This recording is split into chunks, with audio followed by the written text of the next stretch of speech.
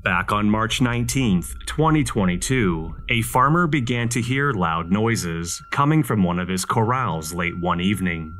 When he checked his CCTV camera that was overlooking his livestock, he noticed the fence closest to the camera was entirely knocked over.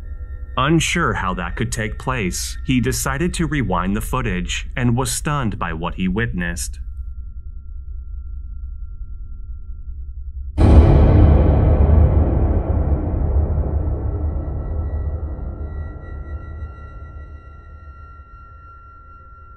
The horses appear to be quite peaceful until a small shadow figure darts out from behind one of the horses.